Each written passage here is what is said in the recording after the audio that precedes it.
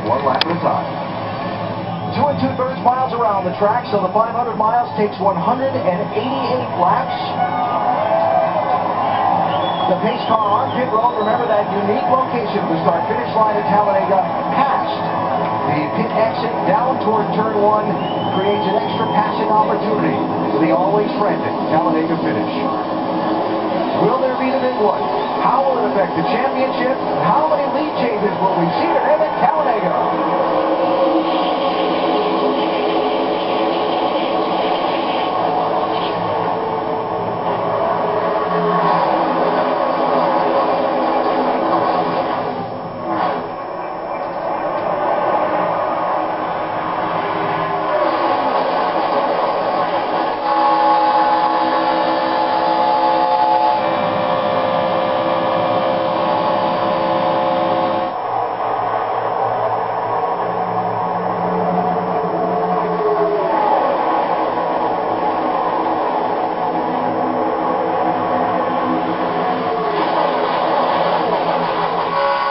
I'm really anxious to see if this outside lane is going to work good and make passes for the lead. It seems like with this new package, that bottom lane's kind of been the preferred line. See right there, Kasey Kahne gets the advantage. Leads that first. Car on the outside, purple and pink 21. That's the Daytona 500 winner from a couple of years ago, Trevor Bayne. They got a big push there from Sam Hornish. But you can see if you get that big push out there and don't have somebody still attached to your bumper, it doesn't do you much good. It's thick already, three, some places four wide.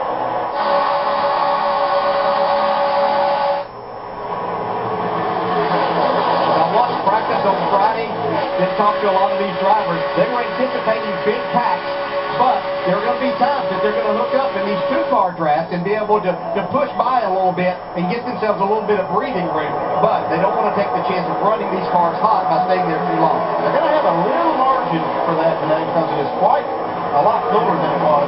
They may be able to do this, this tandem drafting for more laps than they were, say, in practice.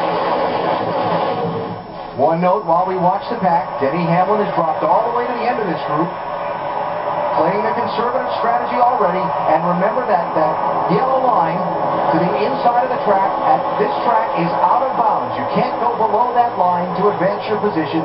There's Denny Hamlin dropping all the way to the back of the field. Jimmie Johnson also way back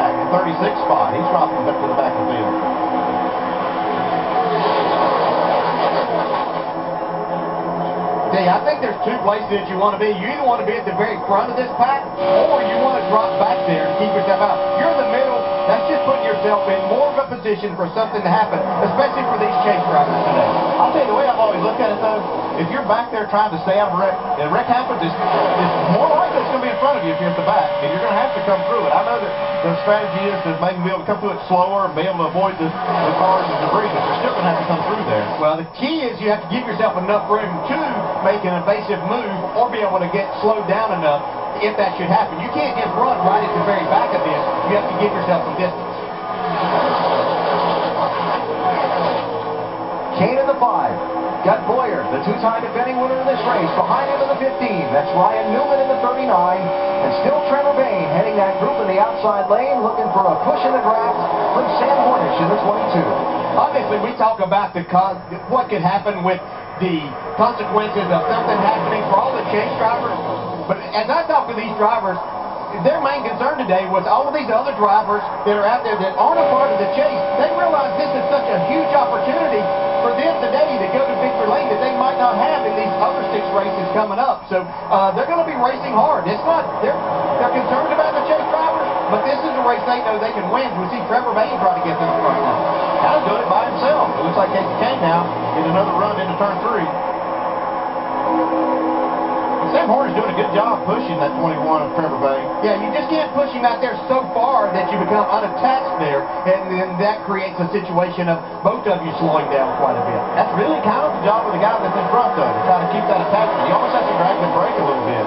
That's got to be just just counterintuitive to a driver to be able to push the brake and go fast. I don't know how they do it. That was close. Looked like Hornish in the 22 was maybe giving that side draft to Ryan Newman in the 39, and it got a little tight there at the start-finish line. Now Hornish picking up a boost from Joey Logano in the 20, while Kyle Busch comes running through the middle lane in the 18. Yeah, there's no reason to think that Kyle Busch won't be a part of having a say-so who's going to win this at the end if he can get to that point.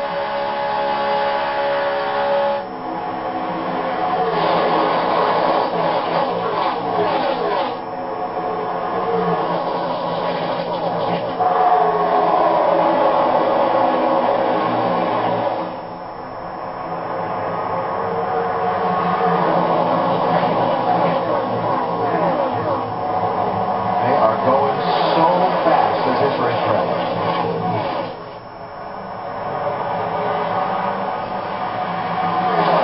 This track repaving a few years back made it so smooth that there's really not a bad place on this racetrack anymore, so you can just go wherever you want to.